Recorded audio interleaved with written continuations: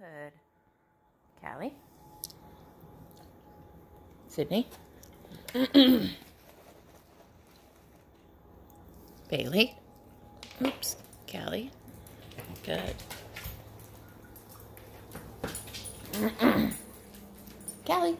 Yes. Good girl. That's good. I'm just practicing a little bit of Callie. Yes. Little recall. Good girl. And a little bit of stationing. So we have Sydney and Bailey. So Sydney Bailey and Callie. And everybody waits their turn. Nobody pushes in on anybody. And everybody gets to their piece and they get uh, a respectful distance, don't they? Yeah. Yeah. Yes.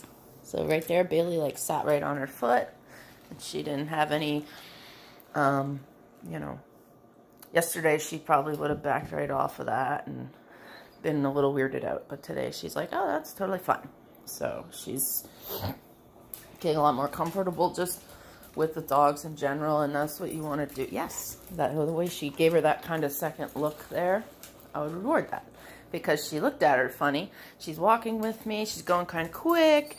But she didn't, um... Good. That's better, yes.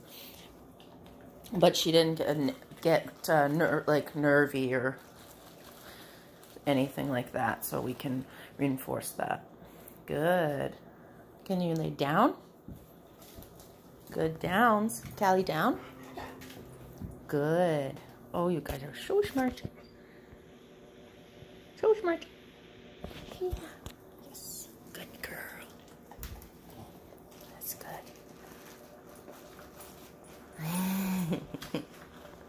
Bailey, come.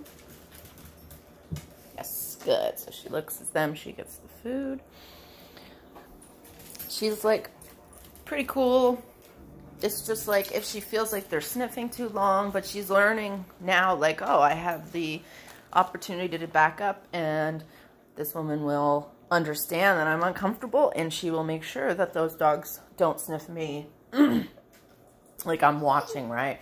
So that I can be, yes, so that I can be proactive in, yes, gauging her comfort level. And basically, like anything these dogs do right now that happens around her, I'm reinforcing her for, uh, especially now when it's even close right in her personal space because that's what's going to make um, dogs less.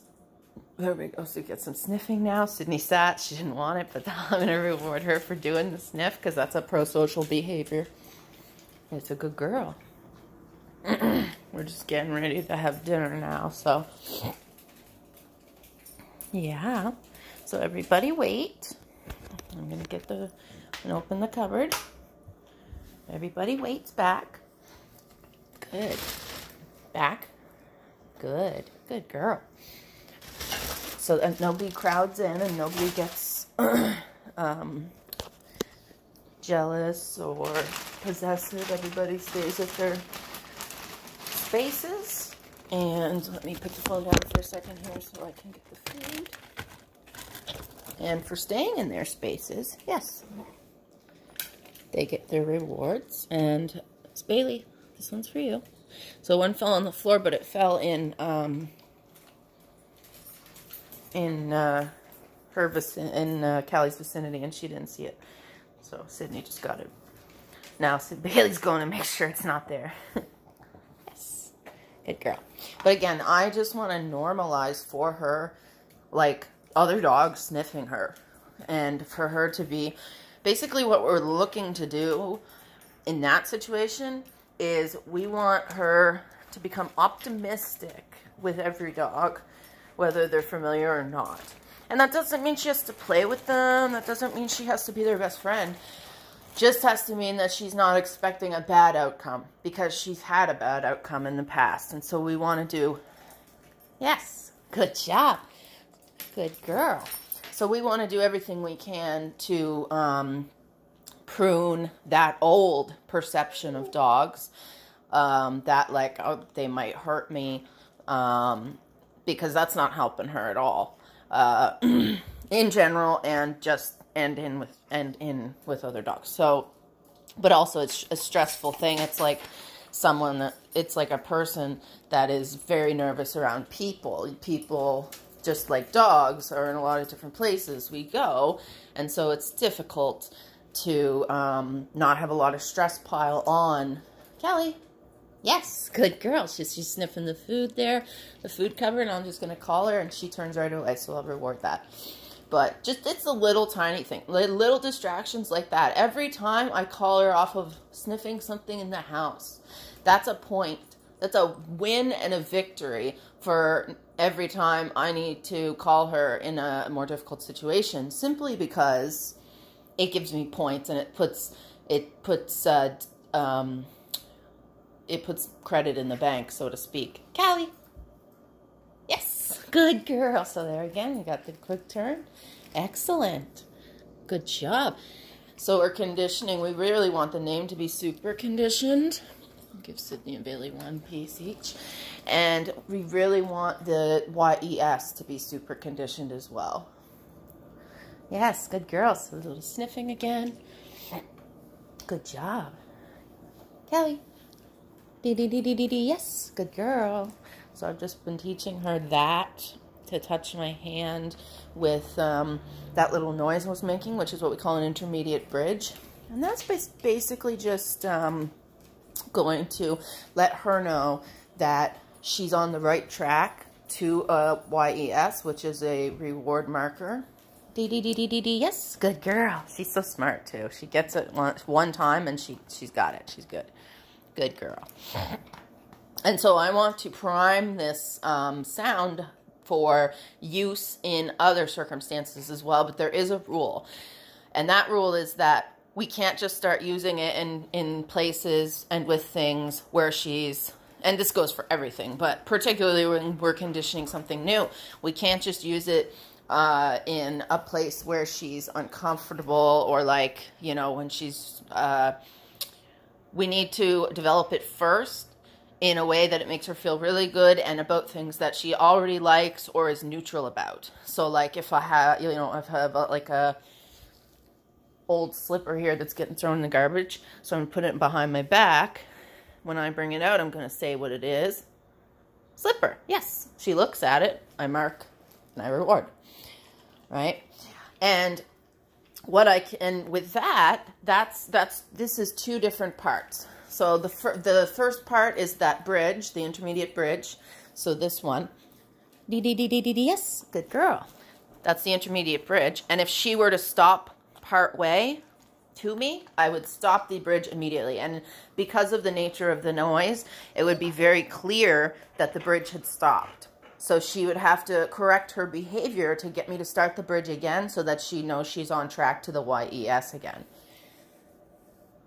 Dee dee dee dee dee dee. Yes, good girl. good girl. So she tried it with the paw and I uh, stopped it and she tried something different and it worked. Yes, good. So just rewarding her here for staying comfortable and staying put, even with Sydney kind of wrapping around her front there. Bailey's still hanging out over there, like, where's dinner? yes, good. And that time she even was like, oh, I'll come with you. Good girl. Good. I'll come with you. Yeah. Okay. Here's one, one of yours, Sydney. Yeah, there you go. Mm-hmm. We'll give Bailey a reward for staying calm. but see, this is this is what we are creating. This is what we need to build at home when she comes home for the first couple of weeks.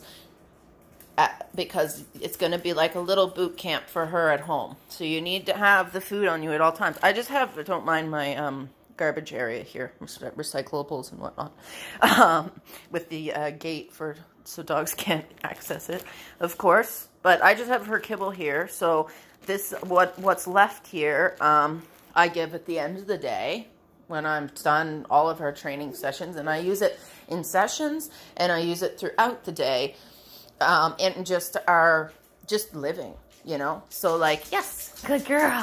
what is she doing? Just these little situations because I need to condition the YES and I need to get her to start becoming optimistic with other dogs and I need her to start to realize that the value is with the person that has the leash and the food, not in the rest of the environment.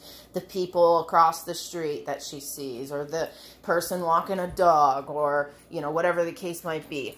and as I said, her arousal is more demand based, not necessarily, um, it is excitement based, but it's also demand based. It's more like, uh, I want something and I'm not getting it, so her arousal shoots up. That could be wanting to, someone to pet her, greet her, and they're not doing it, you know, or quickly enough for her, or they're not close enough to do it, or they're just walking by and they have no interest in doing it, and she's, you know, barking at them because she wants to say hello or whatever, but really you're just walking by. Yes, good girl.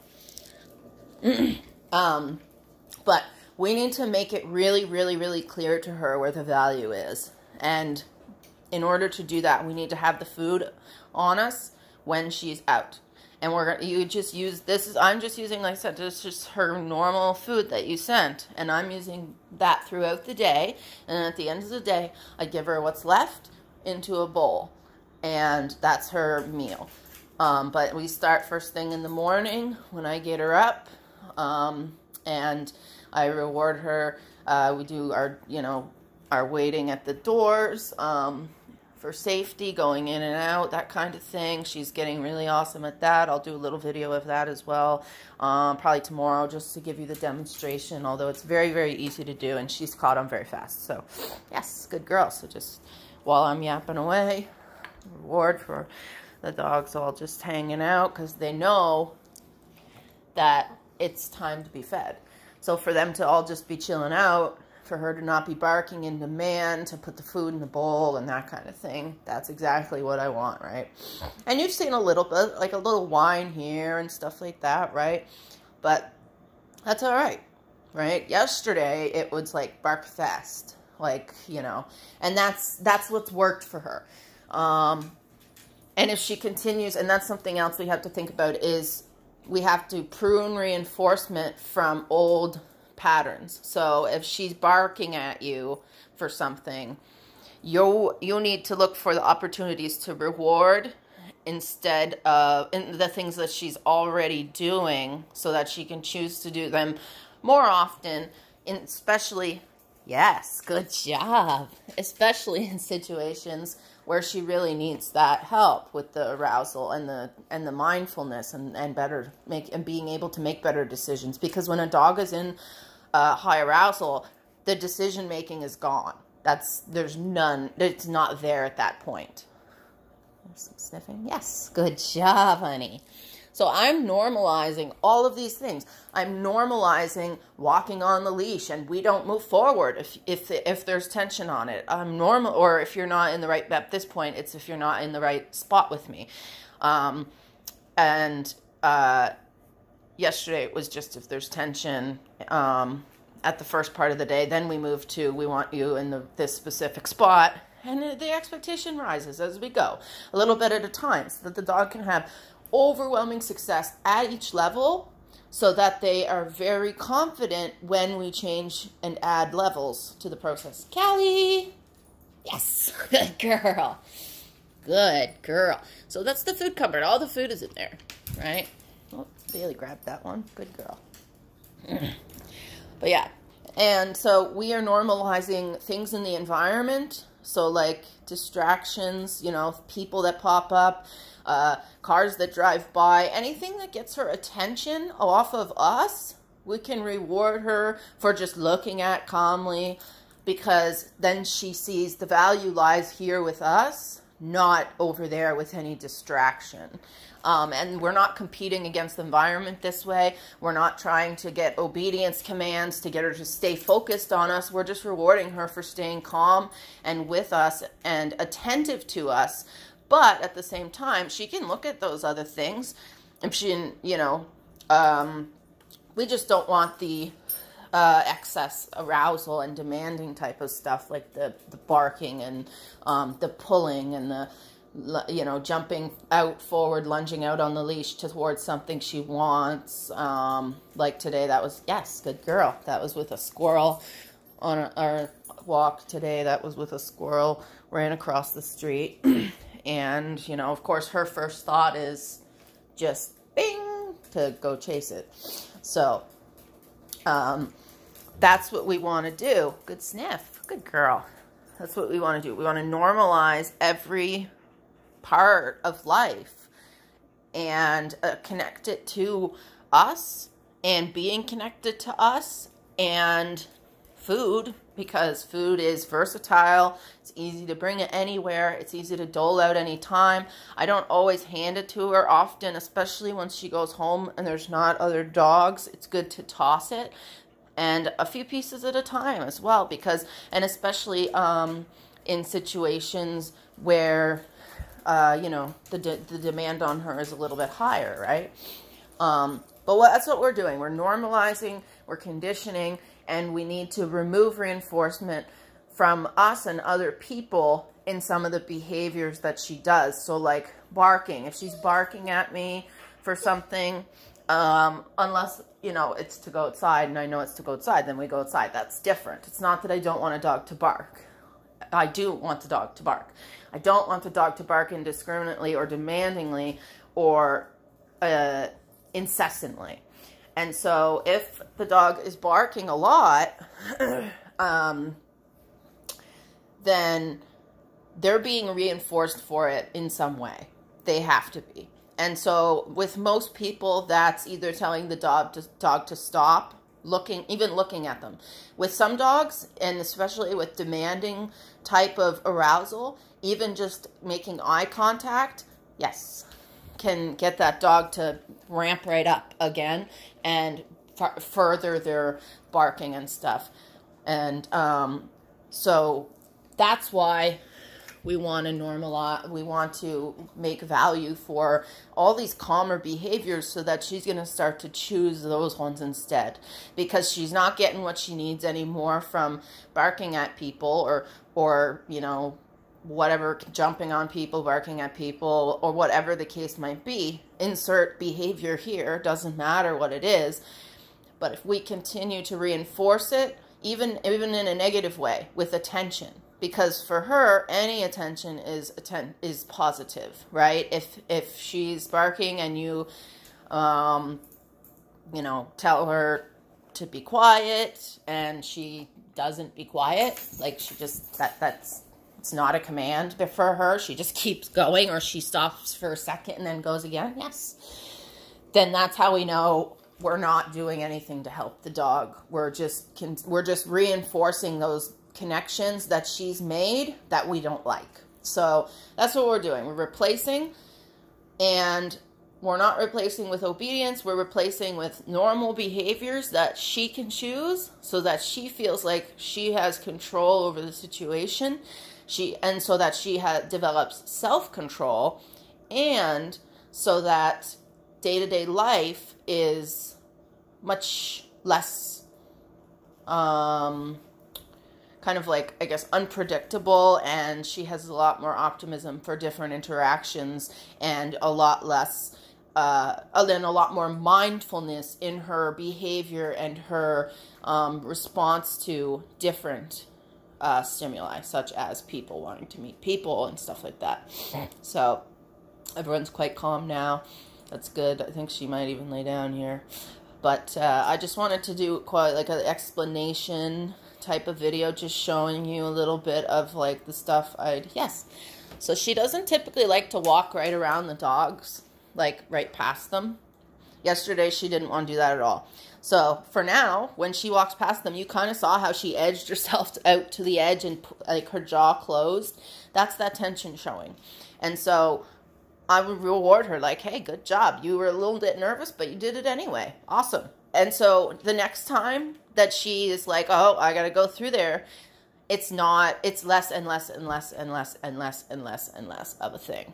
And um, this goes for not just my dogs, but because I'm doing this with my dogs, um, and it's an ongoing day-to-day thing. Um, this can apply the exact same way. There we go. Yes. This can apply the exact same way to other dogs. So you can use the exact same techniques. And that's what I'd like, that's why I'm making this video to show you that the techniques we'll be using with uh, distractions on with uh, the walking and with um, reactivity, the barking, that kind of thing is the exact same as the techniques we can use with other dogs. We just need to change up the reinforcement schedule. So we need to make sure she's not getting reinforcement from the behaviors that are her current patterned ones, so her default reactive responses, and start making new connections to different behaviors of her choice that we like a lot better. And then what we'll start to see is what's called spontaneous progress, where the dog will start uh, you know, just doing things that they wouldn't normally do in circumstances or times that they wouldn't normally do them, like laying down, like, you know, um, when they know that it's going to be like laying down that relaxed when they know I'm about to feed them instead of, you know, barking at me and bugging at me and that kind of thing, right? So, but I've created this, yes, in, um, in her. And again, just using her normal food for this at this point. And there is a hierarchy for the food, right? So like uh, we will at times want to use treats. Um, and that's why sometimes we want to use several pieces of food because more food's better than less. You know, um, higher value food is better than kibble or lower value food. Dry biscuits, you know. Um, treats are going to be... Sydney. Sydney, come. Good girl. There you go. Yes. Good. Yes. Good girl, Callie. So she stays relaxed. Very good. But yeah, um, I just wanted to kind of explain that. I know this is very long, but there is um, a lot of conceptual information to be had here. And um, this is the kind of thing we want we want we do we need to do to truly change behavioral responses to truly change the way the dog thinks and feels and perceives things so that their behaviors change with it. And we can open up the door so widely for the dog by letting them have choices versus you know giving them this is the choice you got to sit to to meet somebody and that's it period um is kind of an un, just as for that as an example, it's an unnatural behavior for a dog. She's very relaxed now. It's perfect. Um, it's very unnatural behavior for a dog. They can't greet someone when they're sitting. And that doesn't actually change the way they think or feel. Typically, the dog, if you ask them to sit, they'll they may or may not sit at the time. If you have food right in their face, you could maybe bribe them to sit. Um, uh, and or if you used the leash and kind of like molded them and held them into a sit you might be able to like but at that point they're usually over threshold so even if they will sit and typically what happens is they'll sit and someone might pet them on the head or something and then you'll say you'll the dog will get up from the sit and they'll be just as aroused or even more so than when they when then when you put them into it. And so that doesn't change anything right? We need to change the actual perception, the feeling, and the response, the emotions that she has surrounding that, because then we get natural behavior change. And when we let the dog have various choices, so I can stand here and greet this person as long as I don't jump on them, basically as long as I don't jump on them or bark at them. It's an arousal thing, right? So, and that's going to be different for different people. And that's something that you can decide on later. And that's not something, yes. So like there's a loud truck out there. And as I said right now, I'm just marking and rewarding things that capture attention in the environment because what I want is for a dog to see things in the environment again not as something that I'm competing against their against for their attention but something that makes me um notice them, something that makes me reinforce them, something that makes things happen with us over here. Nothing happens over there. You're you know, you're not getting reinforcement from that kind of stuff anymore. You can bark at it if you want. The person's still not looking at you. We're still not going over there. Um, you know what I mean? And quickly, uh, and she's a very smart dog. So very quickly, um, if you are consistent with these principles um, and these concepts and having the food on you so that you can consistently observe and react, be proactive really in, uh, you know, um, reinforcing new patterns of behavior in the littlest ways, right? That's where we make the biggest changes. It's the exact same as people. Um, the smallest things where we start from is how, that's how we conquer the largest problems we have. And in her case, these aren't huge problems, but it's it's the exact same. We got to start at the bottom of the mountain anyway, because if we start at the top, well, we have the dog that is over that that's over threshold and they can't function enough to learn, right? And then we have to use a lot of correction or a lot of obedience or a lot of um, control. And we want the dog to learn how to just be a dog and make good choices. And us not have to have control like that, constant command and stuff like that. So what we're looking to do is to teach her how to think for herself and make effective decisions instead of what to think and what decisions to make. So hopefully that um, culminate how hopefully that sums up the culmination of this very long probably boring video but it is important because it is the crux and the key to what we are doing here and um, it's going to this is going to be the one thing and the behavioral downs um, that are going to help Callie the most in my uh, experience so far. Um, but we're going to keep working at it, and tomorrow we'll have some more, yes, tomorrow we'll have some more videos and whatnot, but this is a long one, so I'm going to cut it off now. But today, theory, lots of theory for you guys to think on.